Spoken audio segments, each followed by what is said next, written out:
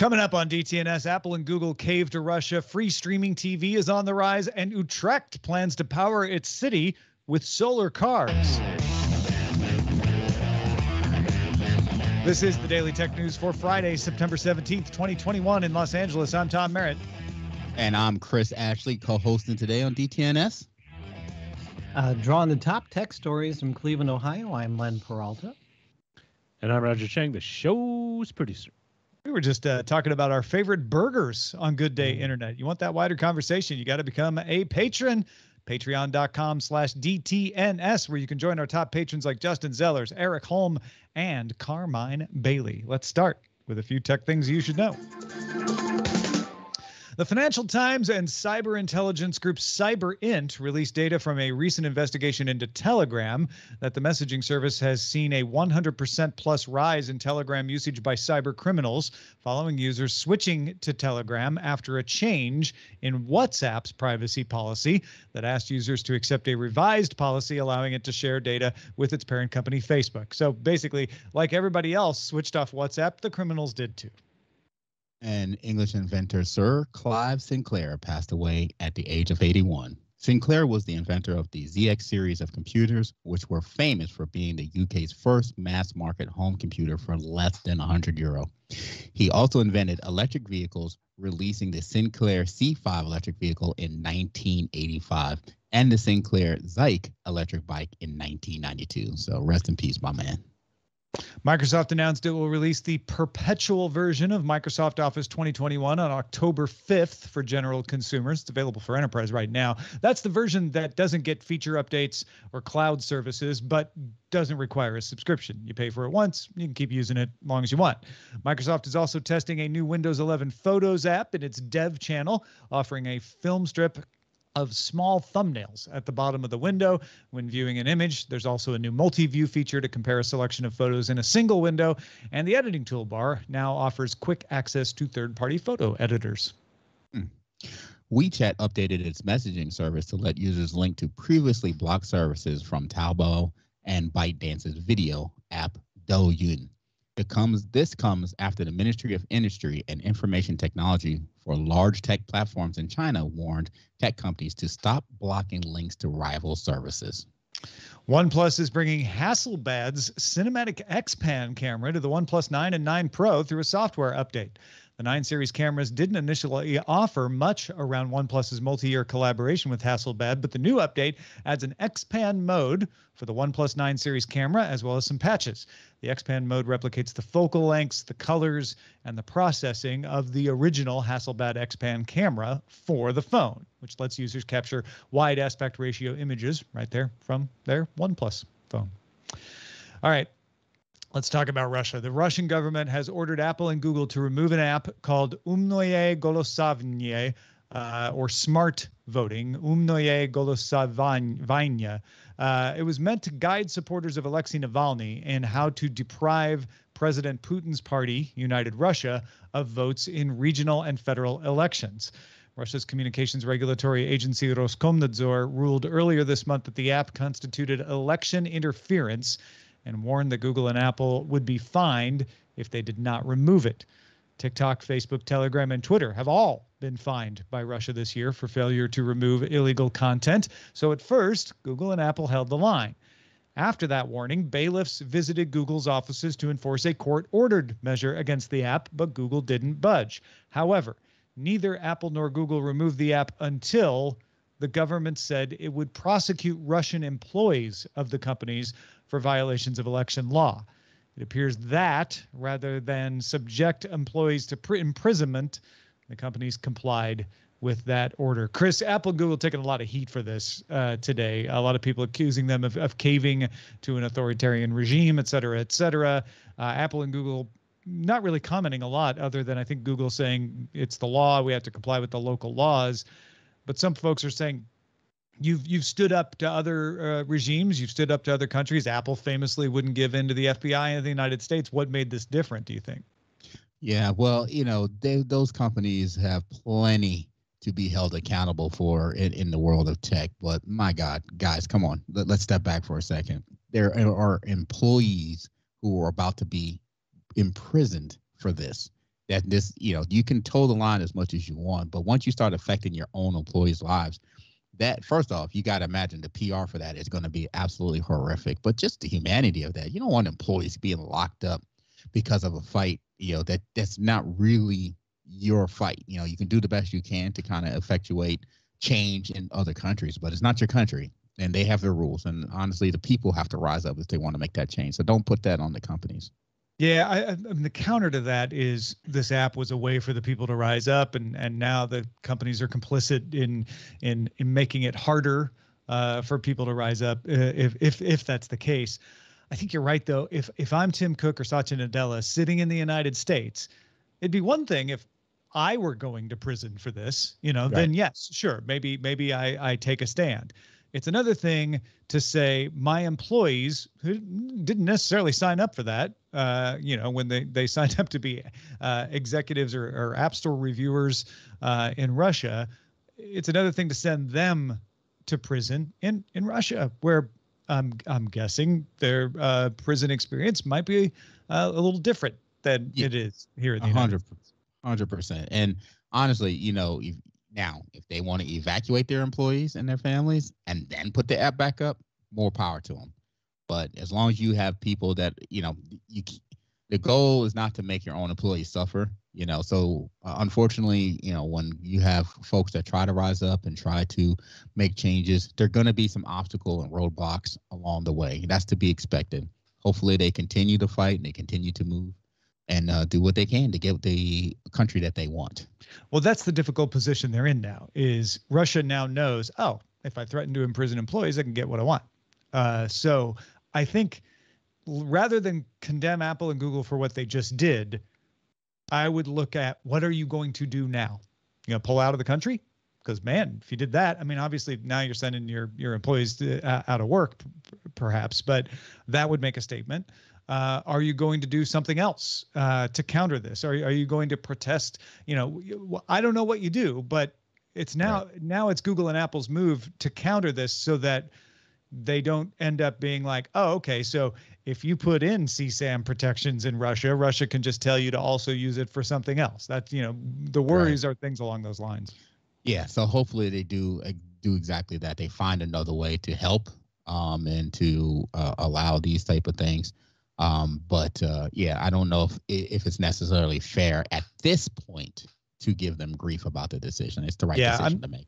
I, it, it it's I don't want to come off as excusing them, but I, am with you. Where I'm not sure they had another move at, in exactly. this particular instance. Yeah.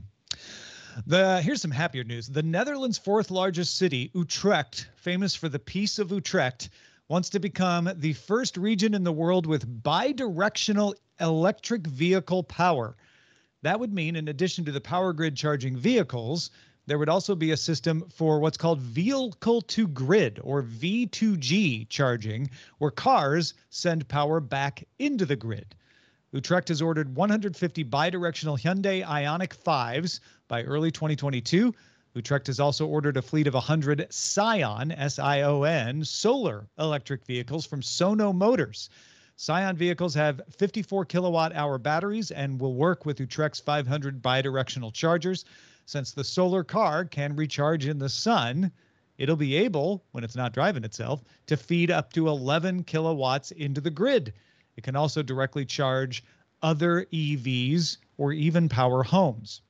All 100 Sions combined could provide 1.1 megawatt peak power to the city. That's about the same as a photovoltaic plant the size of two football fields.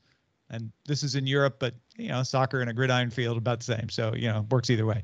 The Sions and the Ioniq 5s will work with WeDrive Solar's solar powered car sharing system. So, the way this works is they'll have these bidirectional uh, vehicles charging themselves up and then feeding uh, into the grid from their the solar arrays uh, until they're ready to be used by somebody who wants to drive them somewhere as part of this car sharing issue. So there's two parts of this that I absolutely love. One, this is technology that can remove the additional hesitation or excuses of why we shouldn't be going down this path at a faster rate, right? Because one of the things you constantly hear is how can the system handle charging all these cars? In fact, I was at the uh, at the car wash the other day, and I told her she lady was admiring my truck, and I said, "Well, I put a deposit on the uh, the F one fifty electric," and she was like, "I just wonder how the grid can handle all these, you know, power." So it's even just regular people, little old lady, they all consider this, and you're like, "Well, actually, they'll be contributing to the grid." Love that. The second part that I love about this, it's not coming in five years or ten years. They're talking about next year that they're starting to put these devices out. And that's the problem when you find you hear like a lot of these announcements, they're so far out, but this is not the case with this one. Love those two pieces. Yeah, I think this is really interesting uh, to watch. Uh, great that Utrecht is willing to try it. And I think it was in the Netherlands. It was somewhere in Northern Europe where they were testing roadways that could charge cars as you drove over them. Uh, so imagine if you throw that in the mix, where where the cars can charge not just from the sun but from the road while they're driving. Uh, I, there there is. Uh, you can you can imagine a world in the future where you know cars are just always powered and and range anxiety just becomes something we're like oh remember back in the old days when grandpa had to worry about range on his electric right. vehicle yeah yeah love it yeah it's crazy all right, tell us about this new IKEA line of furniture. So, the uh, IKEA partnered with ASUS to bring out a collection of gaming-oriented furniture, and uh, and in October it will launch for the rest of the world. Some of the items in the so-called gaming range are existing IKEA items like pegboards but there are a few gaming specific items, including gaming chairs ranging from $69 to $349, gaming desks for around $599, as well as a CPU stand with wheels. There are also smaller accessories like a headset stand, mouse, bungee cord, mug holder, ring lights, and mouse pads. So they definitely kind of went all out with this. Um, there are uh, the piece, the pieces come in black with red accents, which I love, echoing Asus's ROG gaming lineup, but you can also get some of them in white. There are about 30 gaming products across six product families. So I actually took a look at some of this stuff and the furniture, not so exciting, but the accessories actually looked pretty cool. What do you think?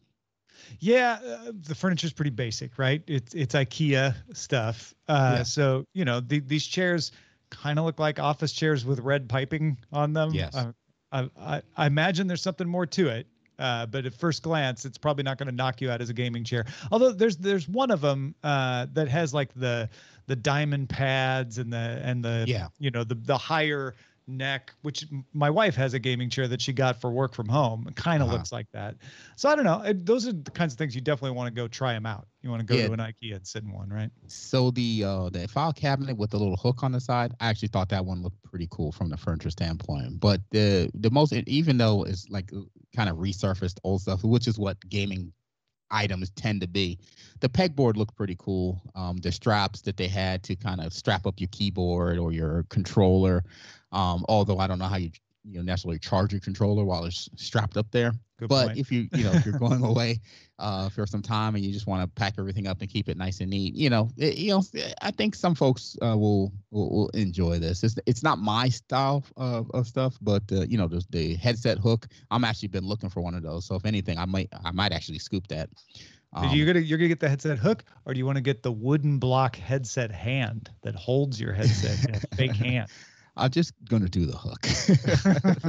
This creepy hand sitting on my desk, like give me high five really while I'm gaming. Creepy. I'm sure somebody's gonna love, love it out there, and I apologize to that person. But yes, I, I apologize as well. But, no, but you know, interesting nonetheless. I, I think the one that caught my eye the most was that that CPU stand with wheels, and that's nothing yeah. new.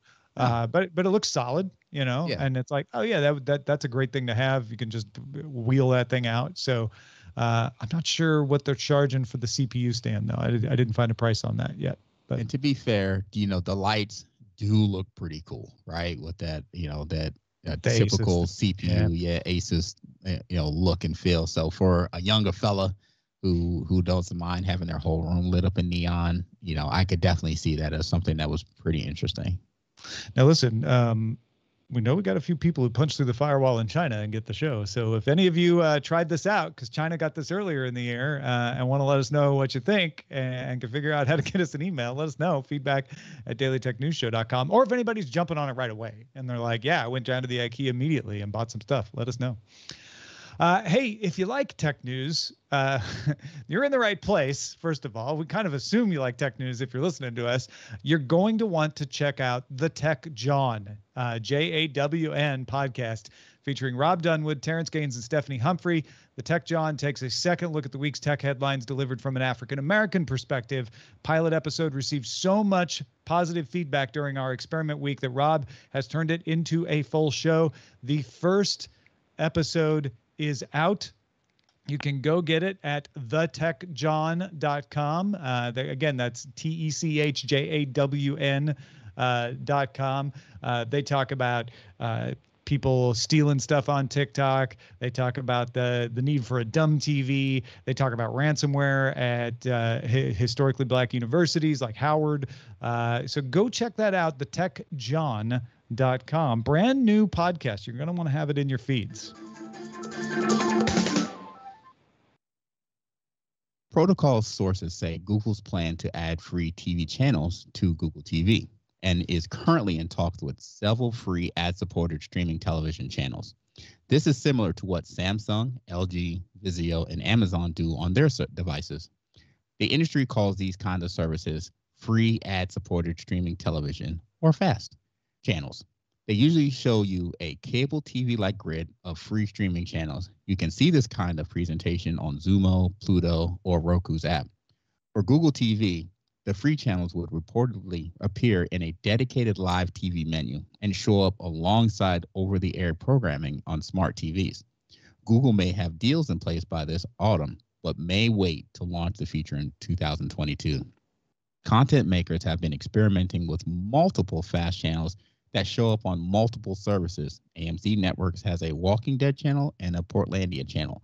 Smaller outfits like Rotten Tomatoes also offer free channels. So this is good. And the reason why I like it is because I looked at my last Hulu bill and almost fell out of my chair. It was over $70. And that was not what I started out with. So if content creators gravitate to this because just another way to kind of get their content out and they making good stuff, I- I'm so ready to drop Hulu as well. It's so expensive, and this I'm like right back where I was. Well, you're, you're getting the you're getting the live TV service. I am be clear, getting live because some people are like, "How do you spend seventy dollars on Hulu?" That's you, you, it, Yeah, the live yeah. TV service is the bulk of that. I'm guessing, right? To be fair, yes, Yeah, it is yeah. the live TV, but it didn't start out as that expensive. It was a great replacement for DirecTV, and uh, now I'm just, you know, I'm looking for other content, and I don't really watch it that much. My wife Still cheaper than DirecTV though. Oh, 100 percent, hundred dollars, right? Oh, Yeah. Easy, easy, easy. Yeah. So any avenue for folks to creators, because there's a lot of talented people that may never make it through a network gatekeeper, but can use a service like this, and all of a sudden you're watching some hilarious stuff, you know, you know, somewhere else. And I'm all for it. So you know, all alternative avenues as well as the ability to allow me to drop this price of my. I have a feeling that this might be where we're headed. Uh, the popularity of these free streaming channels is essentially the internet version of broadcast television versus Peacock, Netflix, Hulu. They're all the internet version of HBO Showtime. And, and in fact, HBO Showtime are part of that too, right? Uh, I wonder if we're headed to whatever device you have, whether it's your smart TV, your Chromecast, your Roku, they will all have a built in free streaming grid with it. And that'll be the way people think about TV. Like I get it on my device, and then I can choose if I want to add channels for premium shows. I can choose HBO Max. I can choose Peacock. I can, you know, I can choose one or one of the other of those. Uh, instead of right now where everybody thinks, well, I have to pay to get everything. I, Right. I think we'll get over that. I think people won't have to see everything because they'll have some free TV here. It's like, yeah, okay, maybe I don't get The Walking Dead early, uh, but there's a whole channel of it, so I can Right. catch up. I, I think patterns, pattern behaviors might change because of that. And the the other you know p- potential uh, side effect of this is you're starting to see um, a lot of content creators on YouTube who are having their content taken down um, because you know a network has hit them with uh, some kind of cease and desist, even though you know, a, a lot of times they're you know false claims. They just want to drop their content so you know the network content can take a rise.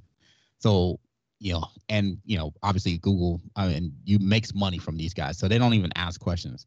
So having alternative locations for a lot of these news folks to be able to put their content so they don't have to experience those type of takedowns would be an awesome thing to happen.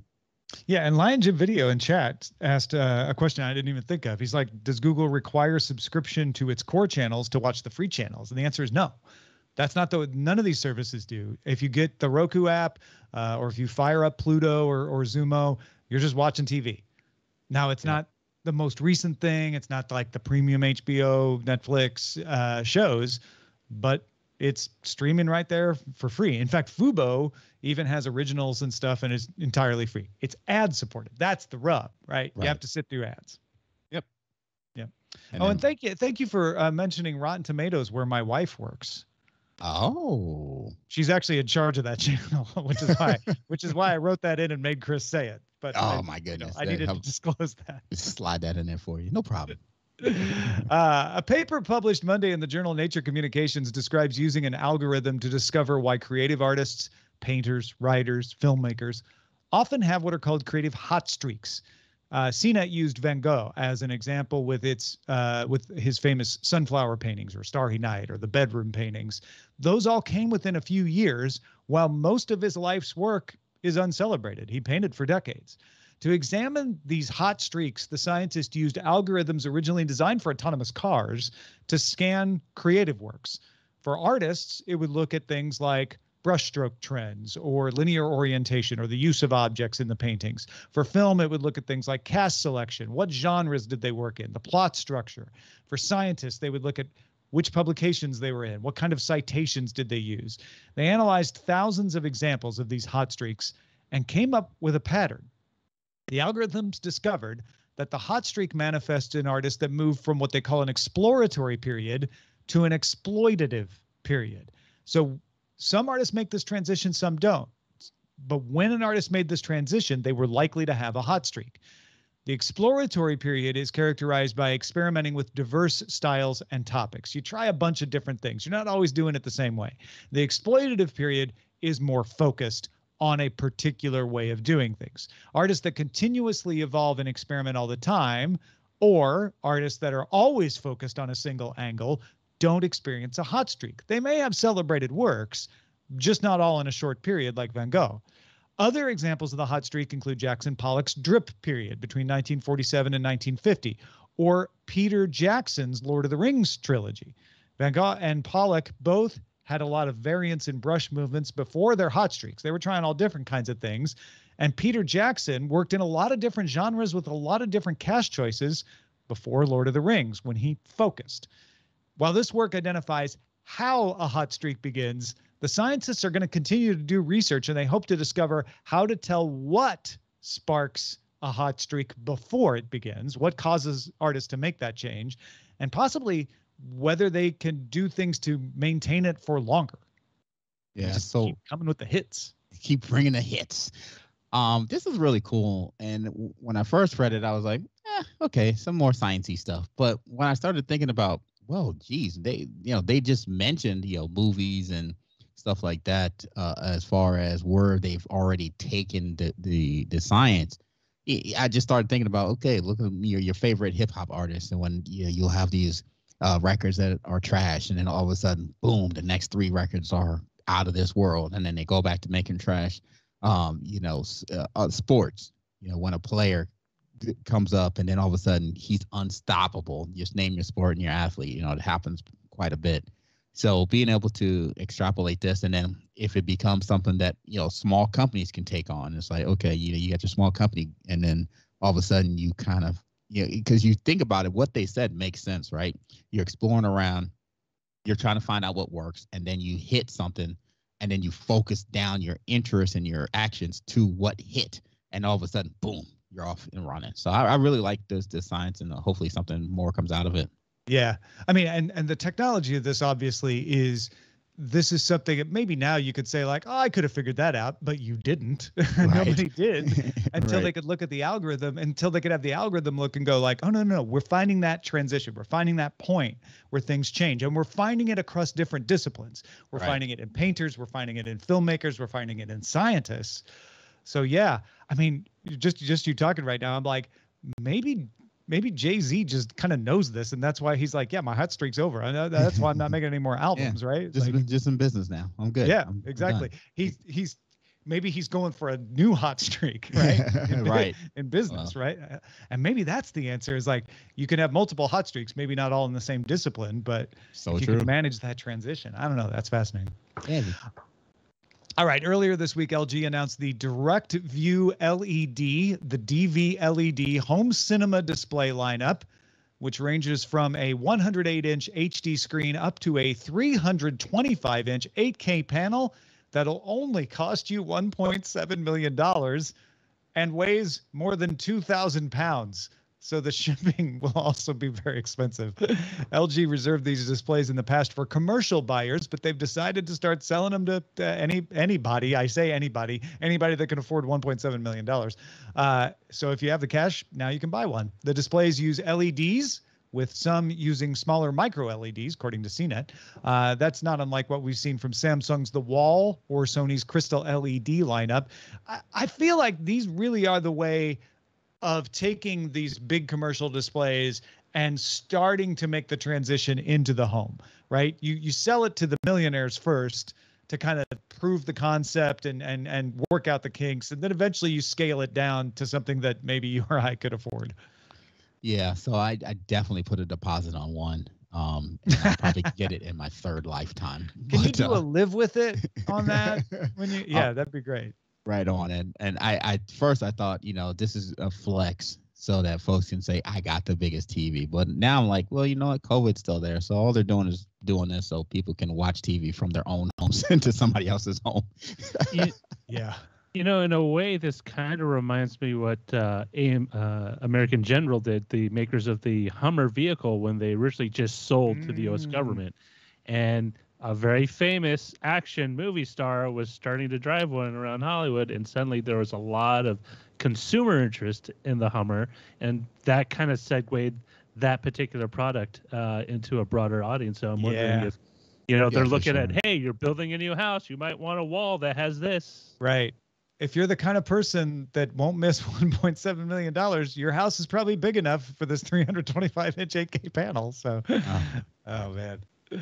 Uh, well, uh, if anybody out there gets one of these, please let us know. Feedback at Yes. dailytechnewsshow.com and and support us on Patreon uh, if, if if you're that person too.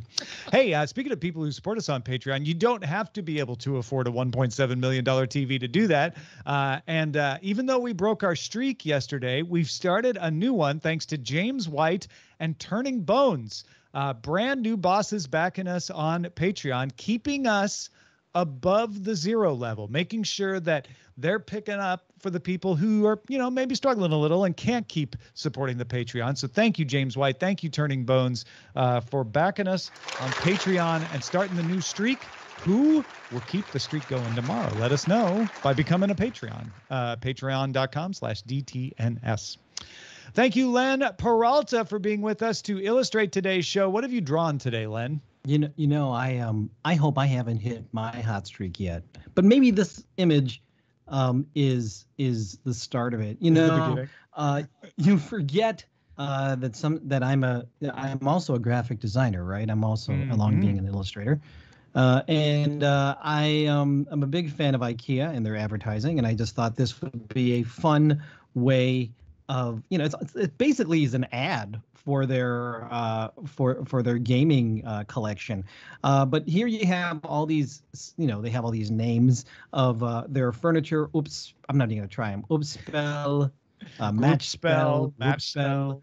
yeah. Group um, and then underneath it says your party has logged on. They so are these names of the furniture or are these Yeah, screen Those are the names of people you're gonna be playing? Yeah. Yeah. Or or are they? Yeah. Uh, I don't know. That's what we're. That's. Uh, I guess it's for us to figure out. Um, but if you're into IKEA and you like you like ads, graphic design ads, uh, you can get this right now. Uh, if you're my Patreon subscriber, patreon.com forward slash Len, or actually at my online store, which is lenperaltastore.com, where there's all kinds of other great stuff you can pick up for yourself. So check it out and uh, go IKEA. Yeah, and in case it's not obvious, uh, IKEA didn't pay Len or uh, any of us for this. No, no. Len's, Len's just doing this uh, for for kicks, but Yeah, they should kicks. hire you. Honestly, this is really I- good. Definitely, I agree. Uh, Chris Ashley, thank you, my friend, uh, for being with us today. What do you got going on to tell the folks about? Uh, so the newest episode of the SMR podcast just went up. Go on and check that out. Me and Rob doing a chicken wings and beer version, which is a lot looser, if it can get any looser. And because you asked for it, it's coming very soon. We will have episode one of Barbecue on Tech. Yeah, keep keep your eyes peeled. We will tell you about it when it is ready to go. But but like any any good barbecue, you know, you gotta you gotta let it cook for a while. Gotta right? let it. Gotta let it cook. Gotta let it let it let it simmer. Gotta let it baste.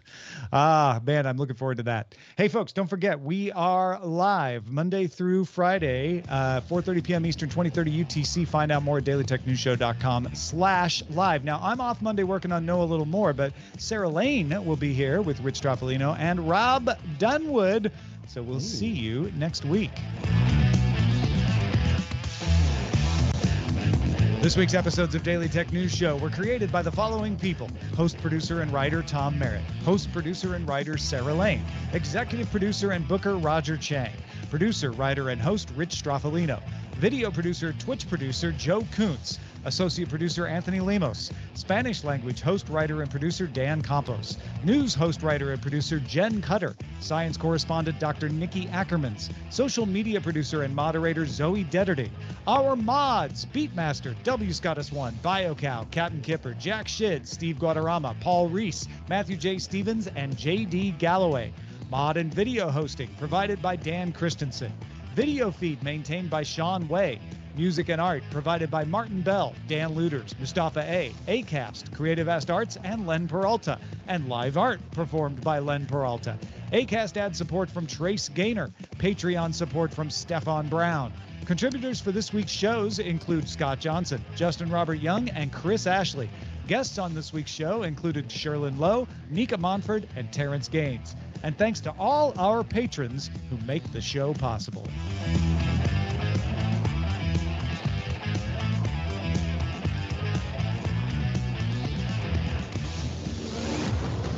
Show is part of the Frog Pants Network. Get more at frogpants.com. Diamond Club hopes you have enjoyed this program.